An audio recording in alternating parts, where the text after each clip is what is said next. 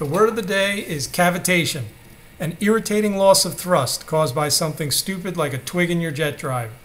A few weeks ago, I was out on the river, up on a plane. All of a sudden, I lost all power and the RPMs shot through the roof. Fortunately, I was able to idle back to the ramp. I decided to make this video to show how something so small and simple can cause such dramatic effects. Here's a shot of the drive before I started the work. The boat is a 1991 Ultranautics Jetstar with a Suzuki 60 horsepower motor on it.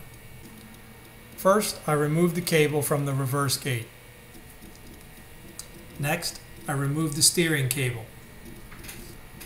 I removed the long pivot pin of the directional nozzle.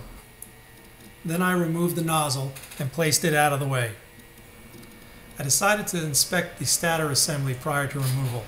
Here you can see the debris and a little twig that got stuck between the impeller and the stator that I couldn't see from the underside of the boat. The stator assembly is held on by these four nuts. As soon as I removed the stator, the debris just fell out.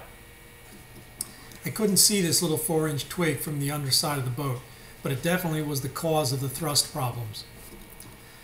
Since I had everything off the boat anyway, I went ahead and inspected the impeller closely and removed the base plate to check the jet drive to make sure everything was good in that area as well. With the twig and all the debris removed, I reassembled the drive and voila, no more cavitation.